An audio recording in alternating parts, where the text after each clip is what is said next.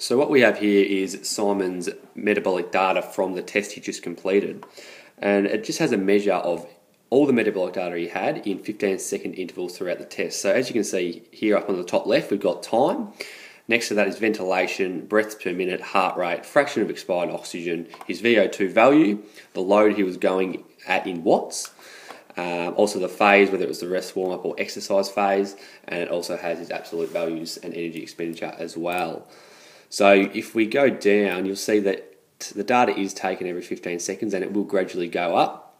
And if we go all the way down to the bottom, we see that Simon's VO2 max phase has been identified here. So he hit his VO2 max at the 20 minute 30 mark.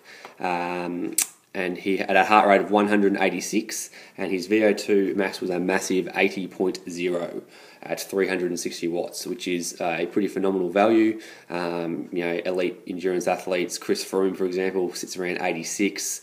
Uh, Lance Armstrong was reported as having 84. So, uh, in terms of his relative VO2 max value, that is uh, well in, well into the elite category. Other data that you'll receive from this test, if you like your data, is um, we have graphs of everything that is is written up here. So down the bottom here, we have tabs which go through um, all the different pieces of data and graph it out nicely for you to view. Um, from this, this is how we we create the heart rate and power training zones by using this data. Uh, and it's just a good visual representation to keep so that way you can know that you improve next time you come around.